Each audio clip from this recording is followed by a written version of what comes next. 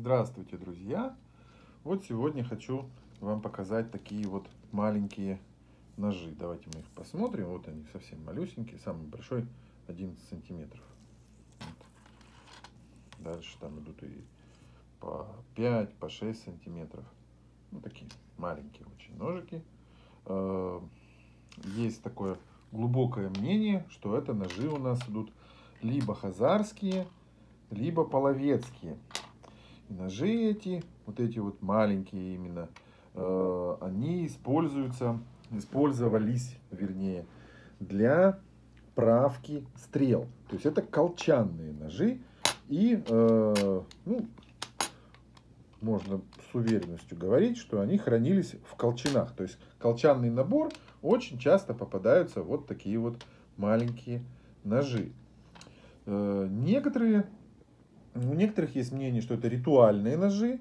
И, э, ну, там, в общем, э, кладутся в захоронение тоже там в качестве какого-то ритуала. То есть там втыкаются там куда-то там они втыкаются в жертвоприношение какое-то и вот, вот так.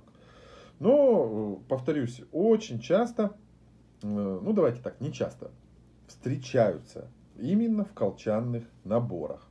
Ну вот этот нож явно хазарский, вот этот вот такой вот упорчик у него, вот этот, он определенно э, показывает принадлежность к хазарскому каганату.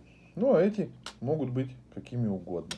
Здесь на кончике двухсторонняя заточка у ножа, хотя обух, как мы видим, вот он, осталь... дальше обух идет не заточенный.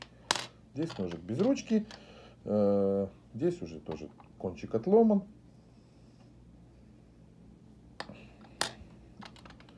Вот, друзья.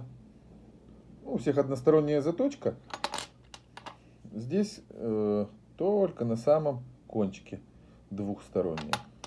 Здесь, как мы видим, поши, побольше. Да? Здесь вообще не заточено. Обух имеется в виду. И здесь тоже.